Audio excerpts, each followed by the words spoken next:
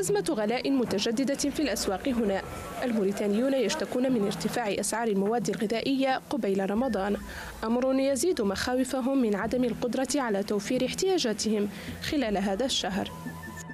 أسعار مرتفعة بشكل رهيب. ما هو معقول؟ قاع وراجل عند ولانا إن شاء الله من هذا الشهر ولا قرب؟ إن شاء الله معناها تخف خف على المسلمين.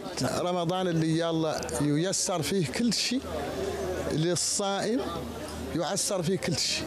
الواحد منا إلى اجبر اجبر الفوقيه مصدق عليه. ما تعشيه ما ما يتغدى. في المقابل تقول الجهات الحكومية إن السوق في وضع مستقر وتتعهد بخطوات إضافية للسيطرة على الأسعار مع حلول شهر رمضان. السوق اليوم يشهد الحمد لله يمكن أن نقول استقرارا أو انخفاضا في هذه المواد. بأنه قبل رمضان لا بد من أن تكون هنالك اتفاقيات داخلية تتعلق ب تتعلق بهذه الأسعار خصوصا في شهر رمضان.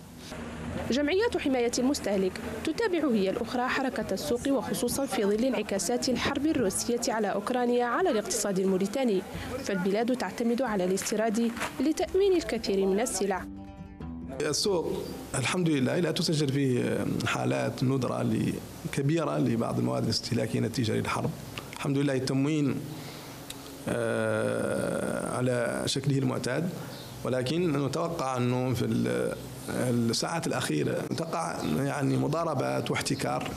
وتعتمد موريتانيا على الأسواق الخارجية لتأمين احتياجاتها من السلع الغذائية خاصة الحبوب والخضروات والفواكه.